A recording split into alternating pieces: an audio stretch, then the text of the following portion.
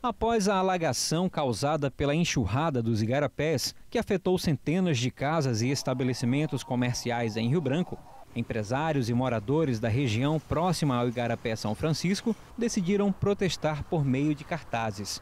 Escritos em letras garrafais, os pedidos são para que o poder público realize a limpeza de córregos e igarapés e sinalize também para benefício aos afetados. Procuramos a equipe da Defesa Civil Municipal para questioná-los quanto à possibilidade de limpeza e ações de recuperação dos igarapés.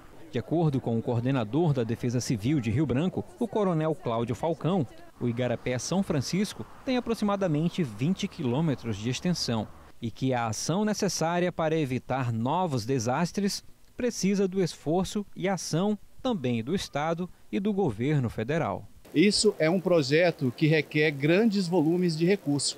Então, somente a prefeitura não consegue dar vazão na demanda. É preciso que se junte os três entes que são o governo do estado, o governo federal e também o governo do município para poder dar realmente a revitalização e a atenção que os igarapés precisam para que a gente evite futuros desastres como aconteceu em 2023.